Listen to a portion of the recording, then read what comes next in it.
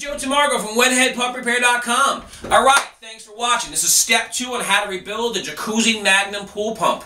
All right, so you probably see me in the other video that was before that, removing the bands. Okay, I was removing the wet end. Here it is, just like this. We move, remove the wet end or the volute or the pump housing. A couple different terms for that uh, piece there. Now the second step is this is called the diffuser. Okay, we're gonna remove this diffuser. Now I've already loosened some of the bolts okay, here with the nut driver.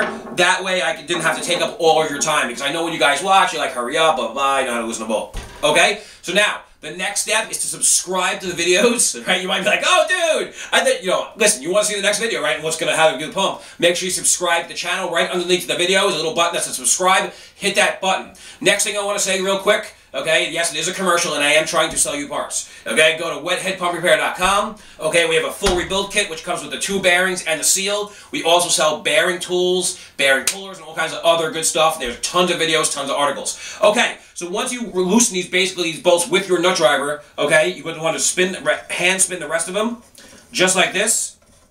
Okay, I'm going to do two at a time here, because I want to do it fast for you so I set at home. And then just like that. And once you do that, the impeller diffuser, okay, will come off. Just like that. Now, be careful, don't lose this little ring. Okay, this is called the diffuser ring. Okay?